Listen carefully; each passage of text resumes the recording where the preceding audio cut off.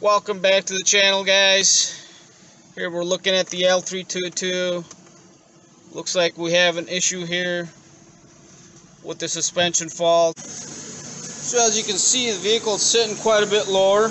Now I have it raising. The vehicle's running but I can hear an air leak sound or a hissing sound out of the left front wheel here. So you can see on our 4x4 info screen the vehicle front end is refusing to raise and it's giving us the fault here. You can see the red flashing, that's the left front wheel. And that's where I'm hearing the hissing noise, which is an air leak. So the vehicle's unable to raise its height to a standard height. So it will put the vehicle kind of in a limp mode. And it will tell you here on the screen, suspension fault, and to max your speed to 30 miles per hour. So here it's telling me the vehicle is lifting slowly. So we know there is a problem. Eventually it will notice that it's unable to lift it. So the system's trying to fill the air up to raise the vehicle here in the front end. But it's unable to do that since we got a leak here. The system has overheated trying to keep lifting that since we have a leak. It will not lift.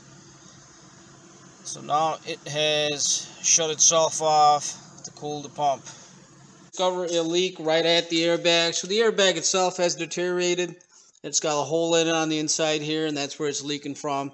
So we'll end up replacing the complete strut on this. You can kind of get these, just the airbag separately, but I recommend just getting the whole strut with the airbag and replacing that. So we'll go ahead and remove this uh, strut. So obviously you want to jack the vehicle, put it on a jack stand. Then we'll be loosening up some bolts here. Uh, these are 22 millimeter bolts, two of them on the strut here. There's one up top here, one at the bottom here. The stabilizer link will have to come off. It's an 18 millimeter, 18 millimeter screw here, or a bolt that needs to come off. And then we'll go ahead and remove all these lines. There is a line in the front of the strut here that's clipped onto it. So you need to unclip that. And we need to unclip all these lines from the strut here just by pulling them out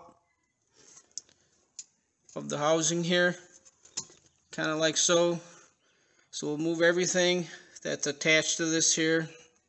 There is a brake line that goes through there also and that'll also come out of there but it's just pulling them out.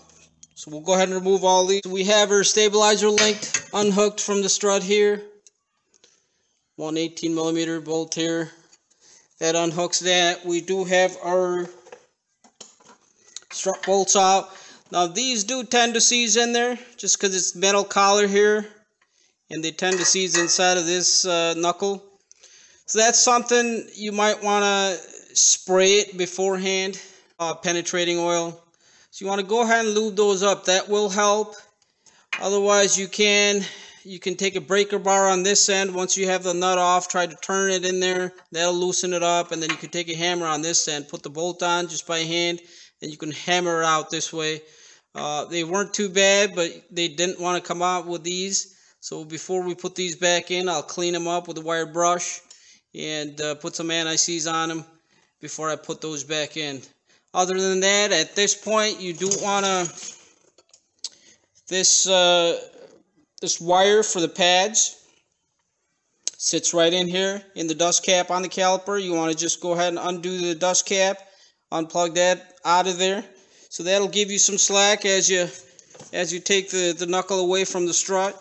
That'll give you some slack. You want to make sure all these uh, all these hoses and cables are out of the mounts on the strut so nothing gets uh, pulled on or breaks or anything like that. Once you have the strut bolts out you can take the pry bar and separate both of the pieces the stucco piece from the strut.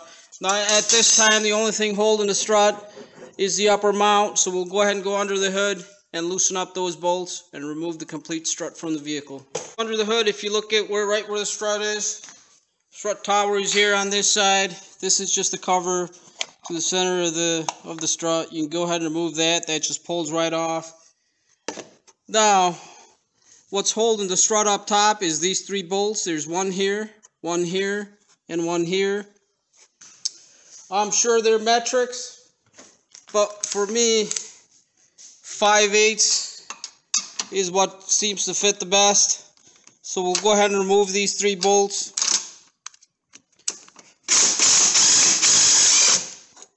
There's one, two. Now, that's something you don't want to do, you don't want to drop the bolts in there. Unfortunately, I got the camera in one hand and uh, the gun in the other. So what you want to do before you remove the last bolt is you want to keep the other hand on the strut because it is going to tend to drop down. So I'll go ahead and get that done and we'll get back to it. So I was able to find the other nut that I dropped in there. Uh, I got all three of them off. Once you have the strut kind of lower down a little bit, there is air connection here. That's where your air hose is to feed the to feed this feed this spring. You want to go ahead and remove that, you can loosen it up here, or you could just cut it with a razor blade or some snips. You should have uh, plenty of plenty of extra on it to, to go in the new one. So we'll just go ahead and cut it and remove this complete strut out of there. So here is our complete strut removed from the vehicle. I did end up cutting the line. It's just easier if you because I know I got a little bit of an extra length, so that will go in the new one. If you don't want to do that, there is a 12 millimeter wrench you can use. And you can unscrew it from there, and that'll go right in your new one then. But like I said, I cut it. I want to replace that end anyways. So here is our airbag complete strut assembly. Now, sometimes they appear a little different comparing to your original. Now, of course, my original is the original that came with the vehicle from factory from Land Rover. Uh, now, once you get the new one, you want to make sure all your mounting is in the correct orientation as far as your um, all the hoses and, and your electrical lines for the for the brake pads and all that. That way, you're sure that you got the right side, left to right, or what have you, and you're mounting for your uh, stabilizer link here. As you remember, I cut my original line, so this new strut did come with a new ferrule, which is perfect. So we'll uh, slip the new line in, or the our old line into this new new fitting, and that'll screw right into it. Uh, if you didn't cut yours and you want to use the original one, you can go ahead and screw your original line right into this. Um, so we're ready to go ahead and put this strut back into the vehicle. So the first thing we're going to do is hang it here and make our airline connection. And then we'll go ahead and push the strut right back into the, the tower and put our top screws on. And that'll hold the strut there. And then we can assemble it from the bottom. Now one thing I'm not going to end up using, this did come with the new bolts for the top or the nuts. I'll use my originals these are kind of, I think the originals are better as far as quality wise. So I'll, I'll reuse my original ones. It's a better washer on it and everything. When putting this airbag or the strut back in, you just want to get it uh, in the correct orientation. There is a, a line pin here or the guide pin up top. Which if you look at your strut tower, that pin will end up being here. Once that pin is in, you know one, two, three bolts here or the studs will come through there. And that, that would be, so you want to get that in that orientation when you're putting it in and then go ahead and put the nuts up top. So right now we're going to slide it into position. We're going to put our airline back on here. Remember 12 millimeter wrench. This did come with a new fitting for the airline, so we'll go, go ahead and put that on the line and tighten it up on the strut and get the strut into position here. We have our airline attached. It's just by holding the strut here, attaching the airline. You can lean it right on any part of this here, on the CV axle, what have you. And then you want to go ahead and align it. Remember, you have an alignment pin here.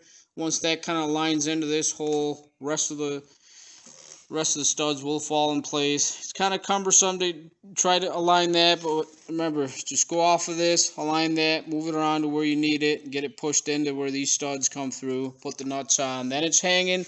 So at this time, we'll go ahead and tighten up the top here. We can go ahead and put the dust cover back on the top here. We're done here, so let's go ahead and work at the bottom here and get everything reinstalled. We can go ahead and get these uh, steering knuckle to the strut bolts back in. Now, with doing that, you can you can move the whole whole assembly back and forth to where you need it. You might have to lift it up. Remember, the strut itself will rotate to whatever position you need it to be in. Um, all we're trying to do is getting the knuckle back into the strut, aligning these holes with these holes in the strut. Now, I put some anti-seize on it. That does help keeping it not seasoned. Um, so that's what I've done. You can put a jack underneath of this with a wood block or what have you, right on the rotor or underneath to where the ball joints are, and lift the whole assembly up to align it uh, to get those bolts in. So that's what we're going to accomplish now. I was e easily able to lift up this whole steering knuckle with the rotor and the brake assembly and put it right into the strut and get these two bolts, one here, one at the bottom in. Uh, like I said, if it's easier, you can use a jack at the bottom to get that in. The strut will rotate to whatever position you need it in uh, to get that assembled together. So we'll go ahead and put the nuts back on this and tighten those up. Just like so here on both of them. Get that tightened up. Uh, next step would be to get the stabilizer link back in. Get that tightened up. And then uh, we'll get all our lines and hoses back in position where they're supposed to be. So at this time I have both of the strut bolts tightened up to the to the knuckle. Um, I have by using a 7 8 that seems to be best fit holding it from this end and using a gun on this end get those fully and you have some of these cables this one's for the the wear pad for the brake pads the wear sensor Remember that goes right on the on the bleeder cap. That clips right into there. Clips in here onto this bracket. You got your brake hose going to the caliper. That clips into the back of the bracket. And then you have the ABS sensor. The traction sensor would have you, but it isn't it is an ABS sensor. Going to the wheel, the trigger wheel. That clips in here. Goes behind the strut itself. And this clip here the new strut did not come with the new clip, so I had to take it out of the old uh, original strut. And that's what goes into the, that's the ABS sensor behind the wheel here. We're ready to go ahead and install the, the stabilizer bar back in. Remember, this is what I'm doing. You can try to lift it by hand to align that hole with the bolt in the, or the stud in the stabilizer link. You can lift it so we'll just go ahead and jack up. Remember, there's no air in the strut at this time. So you can move that around to whatever position you need it in. You can turn the wheel if that's off to align this hole with the stud and get that in. Looks like we need to go a little higher. We can go ahead and put the bolt on the end of that once we get it to, at the proper height and get that installed. The stabilizer link back in and the bolt tightened up. Um, just want to make sure to go over everything. Make sure you got your strut bolts here at the mount tightened up, two of them, 7 eighths. Your uh, stabilizer link bolt tightened here. Upper strut mount bolts are fully tightened here. All your cables and hoses hooked up where they're supposed to be. And that's all there's to it. At this time, we're ready to go ahead and put the wheel back on and test the suspension. So we'll put the wheel back on, get the vehicle back on the ground. We'll fire it up and uh, make sure everything is functioning correctly and make sure there's no air leaks. Uh, and we'll go from there. I did go ahead and undercoat the strut and, and the bolts and everything, all the metal parts. Uh, something you don't have to do. I like doing that with all parts. You can take some Rust-Oleum paint, any kind of paint that you have, um, and, and, just coat them. That just gives them extra protection. Where I'm at here in the mid Midwest, this vehicle does see quite a bit of salt. So this keeps things looking fresh for longer. Uh, so things don't rust up. So let's go ahead and get the wheel back on and test everything. We have the wheel back on the vehicle. The vehicle's off of the jack. Jack stands it's running. We want to go ahead and cycle through our, our cycle on off-road, vehicle height, and lowering mode. Now at this time the vehicle is sitting at standard height. I don't hear any any air leak noise out of this strut as it was originally. So at this point you want to shut the vehicle off, make sure there's no hissing sound from the air leaks or anything like that all the way around. Um, so we'll go ahead and take the vehicle for a drive. So I was able to take the vehicle for a drive. Drives perfect, no issues. The wheel is straight, no air leaks. Sits at right height where it should. It lowers and raises as it should. Thank you for watching.